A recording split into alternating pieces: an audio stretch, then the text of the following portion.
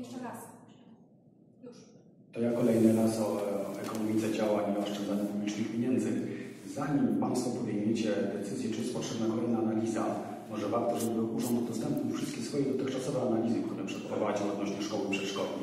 I wtedy będzie można zobaczyć, co jest potrzebne i mieć do czego się odnieść. To co Pani Ola powiedziała, to.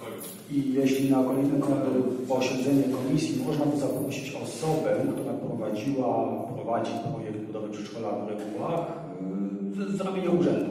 Czy to będzie Pani Wójt, czy zastępca wójta, czy ktoś z referatu, ale osoba, która posiada jakby wiedzę merytoryczną w tej sprawie i mogłaby odpowiadać na pytania. Być może by nam mogła wiele wątpliwości rozwiać od ręki dzięki temu. Macierek. Bardzo dziękuję. E, I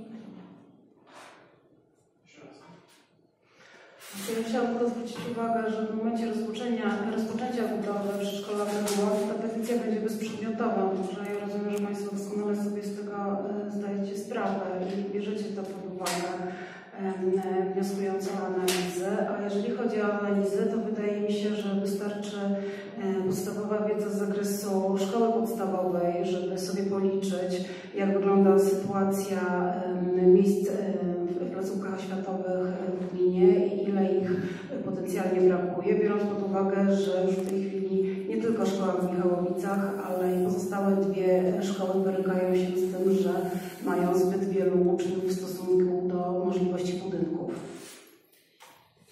Dziękuję. Nie mam wglądu w te dokumenty, o których Pani mówi. Dzisiaj spotkaliśmy się po to, żeby zapoznać się z e, Państwa petycją. E, Bardzo dziękuję e, za sugestie. I w takim układzie zwracam się do radnych jako członków komisji. Czego oczekujemy na następnym spotkaniu naszej komisji?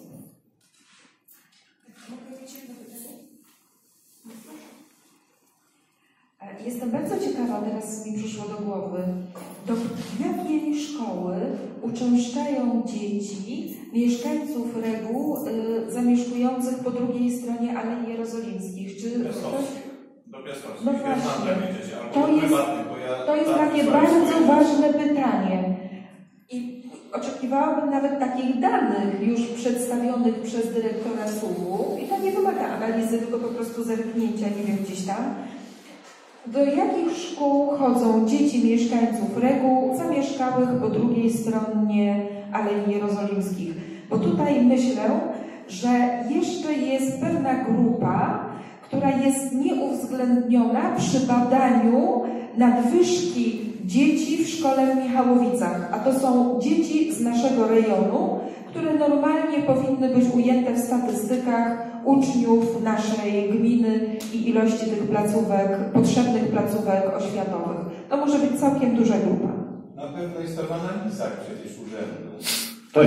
Czy mamy jakieś e, sugestie? Chcielibyśmy kogoś zaprosić. E, tutaj pada sugestia ze strony Piotra Świetniewskiego, e, Piotra Świetniewskiego, żeby to była osoba, która zajmuje się e, tym projektem. Czy chcemy również Panią Dyrektor e, zaprosić? Dzisiaj nie mogła uczestniczyć w tym spotkaniu, jest na szkoleniu od poniedziałku do środy wyjazdowym, więc nie mogła dzisiaj e, być na tym spotkaniu, więc rozumiem, e, że również ją chcemy zaprosić.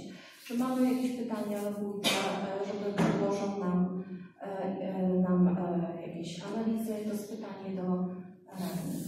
Czy mógłby wstrzymać budowę do, do decyzji? E, Jarosław. Może- przeprowadzenie analizy liczby ludności, e, liczby dzieci w wieku szkolnym, e, przedszkolnym, żłobkowym w perspektywie najbliższych 15 lat. Ale przy czym wartość ta nie jest teraz jakoś bardzo przemyślana. W perspektywie długoterminowej w każdym razie z uwzględnieniem demografii naszej gminy i uwzględnieniem e, pracy. Żeby wstrzymał przyrostu dzieci wynikających nie tyle z urodzeń, co z wprowadzania się nowych mieszkańców do naszej gminy. Czy są jeszcze jakieś sugestie, Adriana? Może? Czy możemy zadać pytanie, e, Panie Wójt, czy jest możliwe wstrzymanie realizacji pozwolenia na budowę przedszkola w Regułach? Proszę. Po pierwsze chciałabym usłyszeć e, zdanie, które rozpoczął właśnie mieszkaniec e, tutaj siedzący po mojej prawej stronie. Jestem bardzo ciekawa. Także bardzo proszę, e, żebyśmy umożliwili Panu dokończenie swojej wypowiedzi, bo mnie bardzo interesuje. E, To ja zadam pytanie, czy ta wypowiedź ma coś nowego, wnosi coś nowego, czy będzie Pan powtarzał to, co już powiedział? Jakich innowacji Pani? Tak, chciałem się odnieść do tego, o co tu Pani pytała, jak wygląda sytuacja dzieci mieszkających po drugiej stronie Alei Jerozolimskich mieszkańców. Bardzo proszę. Więc sam jestem takim mieszkańcem, więc jak wspominałem wcześniej, mojego syna do zerówki musiałem wysłać do szkoły na Ursusie, ponieważ do Molocha w Michałowicach, szczególnie w dzisiejszych czasach COVID-u, wysłać go nie chciałem. I czytając i rozmawiając z innymi rodzicami tutaj z gminy, jak to wszystko wygląda. Dodatkowo do Michałowic mamy 5 kilometrów. W perspektywie szkoły podstawowej praktycznie żadnej możliwości do czasu, gdy syn będzie miał, nie wiem, co najmniej 12-13 lat, żeby się tam dostawał sam. I natomiast sąsiad na przykład, który mieszka tuż obok mnie, już mówię, jak wygląda sytuacja. Wygląda sytuacja tak, że rodzice się modlą, żeby w postępowaniu uzupełniającym się udało dostać do szkoły podstawowej w Piastowie, która jest niecałe 2 km, czyli trochę dalej niż byłaby tu szkoła w regułach, gdyby była wybudowana, bo też nie mają ani czasu, ani możliwości. Na przykład jedna z osób to jest, zresztą nie będę już wchodził w szczegóły sytuacji sąsiadów, ale e, nie, nie byliby w stanie zwyczajnie dziecka do tych Michałowic, biorąc pod uwagę lokalizację, odległość, sposób dojazdu, e, żeby to dziecko się tam testowało, więc rodzice tutaj regulscy, przynajmniej ci, z którymi rozmawiałem, to wysyłają dzieci albo do prywatnych przedszkoli, do zerówki, albo wysyłają do szkół, często do piastowskich. My sami też nasz odłożyliśmy decyzję o rok, co robić dalej. Mamy nadzieję, że coś tu się ruszy z tą szkołą i też wolę nie myśleć, że będzie musiał do tych Michałowic jeździć, gdzie moja żona urodzi w styczniu drugie dziecko i potem miałaby z tym półrocznym dzieckiem iść kilometr do wukatki, jechać wukatką i potem kilometr znów iść do szkoły, żeby odebrać dziecko. Albo żeby moje dziecko codziennie godzinę dojeżdżało autobusem do Michałowic w jedną ze stron. Właśnie ja chciałam się zapytać o ten dojazd e, autobusami, bo zostały uruchomione linie. Ten autobus e, z drugiej, z e, drugiej strony Alei Jerozolimskiej jedzie do szkoły w Michałowicach przez godzinę. Nie, tak. Czy ja mogę to? To, to, to jest autobus szkolny, z tego co mi wiadomo zaczyna od reguł. Natomiast jeśli chodzi o tą jakąś linię świeżo powstałą, to ona nie przyjeżdża koło nas. Ja mieszkam akurat około e, Regulskiej, przy Alejach Jerozolimskich. I jak patrzyłem na te trasy tych, chodzi o te nowe linie, tak?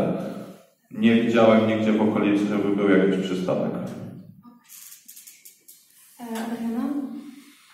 Proszę Państwa, ja niestety chciałam się z Państwem pożegnać, ponieważ już po raz kolejny mamy tak, że ja w jednym dniu mamy albo dwie komisje, w tym wypadku w dzisiejszym mam i komisję i zebranie z mieszkańcami. Mam dosłownie kilka minut, żeby dojechać do szkoły w Michałowicach na spotkanie z mieszkańcami, na które mieszkańcy e, na moją obecność liczą, ja również na spotkanie z nimi, także przykro mi bardzo, że nie mogę z Państwem uczestniczyć do końca, ale to nie ja zorganizowałam dwa spotkania w jednym dniu. Dziękuję. Przepraszam, nie wiedziałam, że macie spotkanie. Zawsze możecie się ze mną skonsultować. Ja się uprzedzam wcześniej o terminach e, komisji. Bardzo proszę o taką komunikację. Będzie lepiej.